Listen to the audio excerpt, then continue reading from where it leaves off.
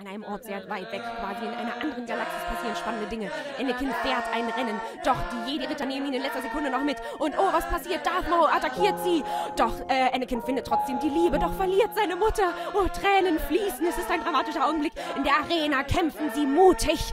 Doch die böse Seite der Macht zerrt an ihm und gewinnt. Während die Zwillinge geboren werden, wird sein Gesicht entstellt und Darth Vader wird geboren. Leia kommuniziert mit R2D2, weil sie ihr Schicksal schon sieht, während Luke ein Jedi wird. Yay! Und er kann endlich Leia befreien. Sie äh, laufen weiter, doch leider oh, Obi-Wan stirbt. Und der, der Todesstern Stern wird getötet. Auch ob er, er kann sterben, ein Todesstern kann sterben. Während Luke ausgebildet wird von Yoda und Han Solo erfriert. Doch ich bin dein Vater. Oh nein, Han Solo ist wieder da. Er ist unter den Lebenden und die Ewoks helfen, mit den äh, zu bekriegen. Und äh, die gute Seite der Macht gewinnt. Alle feiern. Yay! Und